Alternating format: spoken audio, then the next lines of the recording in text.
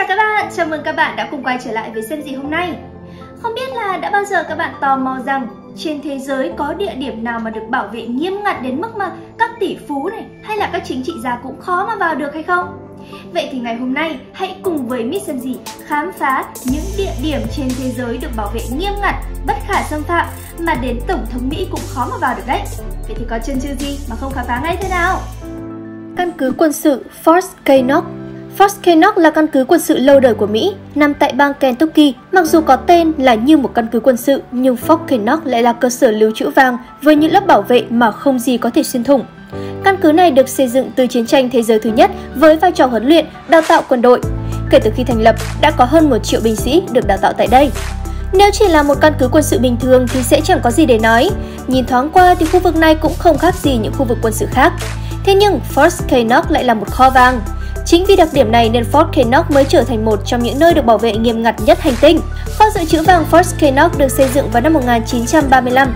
Theo Bộ Tài chính Mỹ thì họ đã mất một năm để hoàn thành với chi phí xây dựng là 560.000 đô vào thời điểm đó. Tất nhiên là không ai bỏ trứng vào cùng một giỏ nên ở đây không cất giữ toàn bộ vàng của nước Mỹ, thế nhưng nó cũng chiếu khoảng một nửa.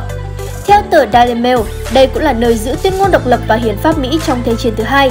First Knox được xây dựng từ hơn 450 mét khối đá granite, 3.211 mét khối bê tông, 750 tấn thép gia cố và 670 tấn thép kết cấu.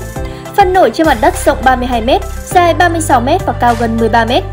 Chưa hết là cửa hầm chứa vàng dày 53 cm, nặng hơn 20 tấn và chống nổ trong mọi trường hợp. Cánh cửa này chỉ có thể mở thông qua các tổ hợp mật khẩu mà thôi.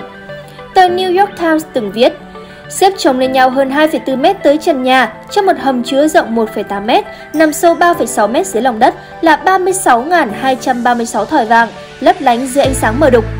Số vàng trị giá 1 tỷ 775 triệu 668.776 USD cùng xếp chung trong một căn phòng. Thật là tuyệt vời! Thú thật là nếu có đặt chân vào đây, chắc là mình cũng lóa mắt với số vàng kia mất thôi. Khu vực 51 Các bạn đã bao giờ nghe đến khu vực 51 chưa? Đây là một trong những nơi bí ẩn nhất thế giới. Khu vực 51 nằm trên hoang mạc Nevada, cách Las Vegas 130 km. Từ cuối những năm 80 của thế kỷ 20, nơi đây đã xuất hiện tin đồn liên quan đến các vật thể bay không xác định. Sau khi một người đàn ông có tên là Bob Laza tuyên bố mình từng làm việc tại khu vực 51 với tư cách là một nhà vật lý. Mãi cho tới năm 2013, theo quy định của Đạo luật Tự do Thông tin FOIA, tài liệu về khu vực 51 được Cục Tình báo Trung ương Mỹ CIA đồng ý công bố. Trong đó cho biết khu vực 51 không phải là nơi nghiên cứu về người ngoài hành tinh như đồn đoán, mà chỉ là nơi thử nghiệm máy bay ném bom tàng hình U-2. Khu vực này cũng được sử dụng để thử nghiệm các máy bay quân sự, bao gồm máy bay giám sát chiến trường, thậm chí thử nghiệm vũ khí hạt nhân. Và mặc dù khu vực này giáp danh với căn cứ không quân Nellis, nhưng các con đường dẫn tới đây đều trống trơn trên bản đồ. Khu vực 51 được xem là nơi bất khả xâm phạm. Bất cứ ai lạc trôi đến đây cũng sẽ bị các binh sĩ bắn hạ. Đối với những người làm việc ở đây thì cho dù là quân nhân hay nhân viên văn phòng đều phải ký vào một bản cam kết không tiết lộ khu vực bí mật này. Và chắc chắn là sự trừng phạt dành cho những người đưa cái miệng đi chơi xa chẳng hề nhẹ nhàng một chút nào. Văn khố bí mật, Vatican Văn khố cơ mật của Vatican được xem là một trong những nơi bí ẩn và được bảo vệ nghiêm ngặt nhất trên thế giới. Năm 1612, giáo hoàng Paul V đã xây dựng văn khố này. Bên trong là một kho báu kiến thức khổng lồ với rất nhiều thông tin được giáo hội thu thập trong hàng trăm năm. Vậy ở bên trong có những gì? Câu trả lời là những văn bản làm việc, thư tín, thư gửi cá nhân của giáo hoàng, vô số tài liệu lịch sử, tài liệu và văn bản tích lũy về mọi ngóc ngách của thế giới được Vatican thu thập từ thế kỷ thứ 8. Tất cả các tài liệu này đều nằm trong một kho chứa lớn, được bảo vệ an toàn bất chấp sự thay đổi của khí hậu và nằm bên cạnh Thư viện Vatican. Có quy định rằng người ngoài sẽ không bao giờ được bước vào văn khố. Đến năm 1881, Đức Giáo hoàng Leo 13 mới cho phép người ngoài được bước chân vào văn khố nhưng cực kỳ hạn chế và tất nhiên là có chọn lọc. Tuy nhiên, căn phòng bí mật ở Vatican chưa bao giờ được hé lộ. Nhiều người cho rằng văn khố bí mật này đang giữ những thông tin có thể làm đảo lộn trật tự thế giới nên mới thường được bảo mật đến vậy. Các bạn thì nghĩ sao? Nếu chỉ là những thông tin thông thường thì tại sao Tổng thống Mỹ cũng khó mà đặt chân đến đây? Nhà tù ADX Florence Bình thường thì chúng ta nghĩ những chính khách sẽ được bảo vệ nghiêm ngặt nhất. Thế nhưng có một nhà tù nằm ở chân dãy núi Rocky gần Florence, bang Colorado phía tây nước Mỹ, được xem là một trong những nhà tù kiên cố nhất nước Mỹ. Tại sao lại vậy? Chúng ta hãy cùng tìm hiểu nhé! Bắt đầu hoạt động từ năm 1994, nhà tù siêu an ninh này lập ra để giam giữ và cô lập những tên tội phạm được đánh giá là quá nguy hiểm đối với những nhà tù thông thường. Trong số các tù nhân, có những người đã từng đưa bạn tù của mình lên đường đi gặp các thần chết hoặc là các thủ lĩnh băng đảng tội phạm và những tên tội phạm được xếp vào dạng đặc biệt nguy hiểm, kể cả những đối tượng bị kết án đe dọa an ninh quốc gia.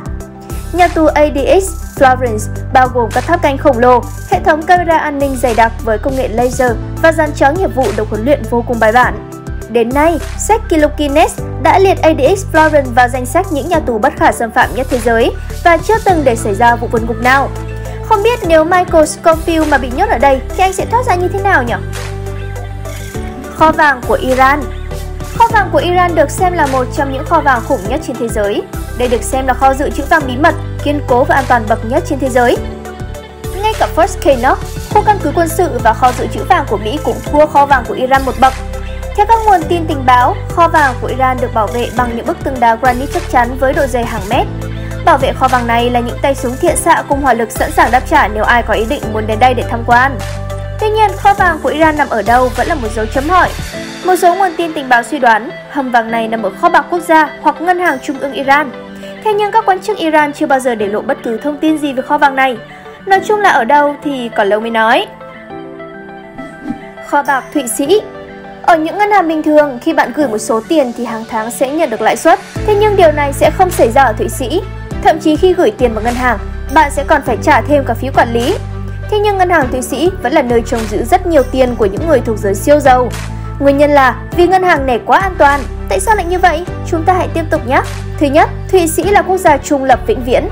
Tất cả các vấn đề về chính trị đều không thể ảnh hưởng. Điều này đảm bảo một điều, đó là số tiền trong lãnh thổ của Thụy Sĩ sẽ không bị phá hủy bởi chiến tranh. Thứ hai, Thụy Sĩ vẫn luôn duy trì một lực lượng quân đội hùng mạnh, đến mức người ta cho rằng dân số trong đất nước Thụy Sĩ đều là quân đội. Thứ ba là trong thời kỳ chiến tranh lạnh, nhiều hầm ngầm đã được đào ở các dãy núi của Thụy Sĩ. Ước tính có hơn 1.000 hầm ngầm được đào sẵn. Vấn đề là những hầm ngầm này rất khó bị phát hiện, ngay cả khi bạn là nhân viên ngân hàng. Núi Cheyenne về quân sự, chắc chắn Mỹ là nước đứng đầu trên thế giới và con rồng cảnh gác nước Mỹ khỏi những mối đe dọa chính là căn cứ quân sự Cheyenne. Vào những năm 50, Bộ Quốc phòng Mỹ đã biến khu vực này thành một trung tâm chỉ huy chống lại các cuộc tấn công của máy bay ném bom tầm xa do Liên Xô chế tạo. Pháo đài này cao 2.100m so với mực nước biển. Những cánh cửa an toàn được làm bằng thép nặng khoảng 25 tấn và mất đến 40 giây để đóng kín hoàn toàn. Ngày nay, pháo đài này được bảo vệ bởi một nhóm lính cứu hỏa và lực lượng an ninh cực kỳ tinh nhuệ. Vậy là chúng ta vừa mới khám phá 7 nơi an toàn và cũng là tuyệt mật nhất trên thế giới. Trong số những địa điểm trên, đâu là nơi mà bạn muốn khám phá nhất? Hãy để lại câu trả lời dưới phần comment nhé. Hẹn gặp lại các bạn trong những video sau. Kể từ tuần này thì chúng mình sẽ bắt đầu mở chương trình Q&A. Các bạn hỏi, biết sẽ gì trả lời. Mình thì sẽ không sợ những câu hỏi hóc búa đâu. Vì thế, đừng có ngần ngại để lại những thắc mắc thú vị và độc đáo nhé. Các bạn thấy video hôm nay của chúng mình có thú vị không nào? Và để làm ra được một video thú vị như thế này thì không thể không kể đến công sức của anh Việt Hoàng, editor và chị Mai Anh, người sáng tạo nội dung. Và để ủng hộ cho team chân thì của chúng mình thì các bạn đừng quên like và subscribe kênh nhé. Còn bây giờ, tạm biệt và hẹn gặp lại các bạn trong những video tiếp theo.